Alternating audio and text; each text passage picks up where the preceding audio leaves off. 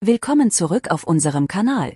Heute sprechen wir über die neuesten Entwicklungen in der Welt der Wollnys. Kalanta Wolny hat mal wieder für Aufsehen gesorgt, indem sie einen privaten Chatverlauf mit ihrer Mutter Silvia geteilt hat. Was war da los?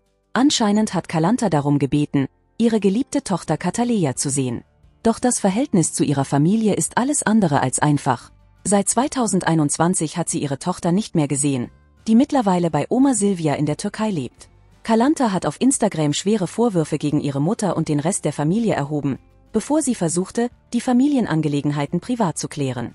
Doch anscheinend war das nicht von langer Dauer.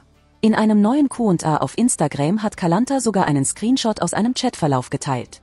Ein Nutzer fragte sie, warum sie nicht dafür kämpfen würde, ihre Tochter zu sehen. Die Antwort von Kalanta war deutlich, ich muss dich anbetteln, damit ich die Kleine sehen kann oder auch nicht sehen kann, und du warst lange genug in Deutschland. Das sagt doch einiges über die Situation aus, oder? Es scheint, als ob Kalanta nicht nur um den Kontakt zu ihrer Tochter kämpfen muss, sondern auch um andere Dinge.